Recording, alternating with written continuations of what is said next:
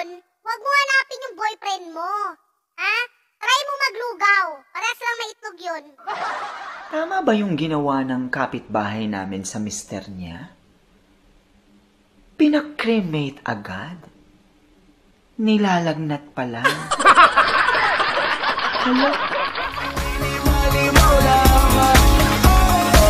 Let me show you what you're missing. Iaway ti ka para lambingon ko nimo. Pero kay bugo man ka. Nagbulag na inunta.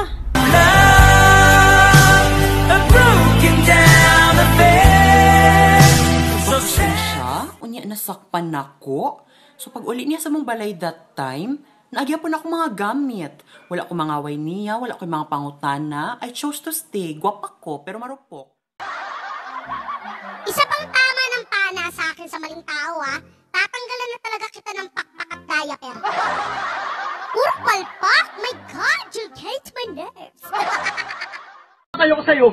Bakit? Totoo naman ah. Hindi totoo yan. Dahil ng totoo, ikaw ang dahilan kung bakit buhay pa ako.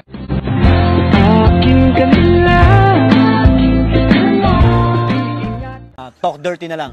Talk dirty po?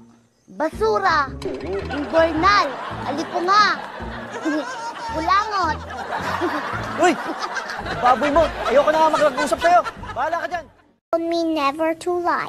So, I will be honest. You're the ugliest person I've ever met. Yan ko naman, tinanggap ko naman. Kasi importante sa akin. Binuhay niyo ko. Pinakain niyo ko.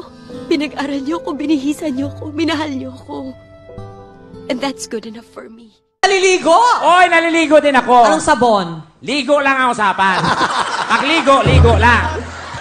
Ligo now, sabon later. Ikaw, are you not gonna say anything? I have nothing to explain. Ang sakit ah. Ang tigas talaga ng mukha mo.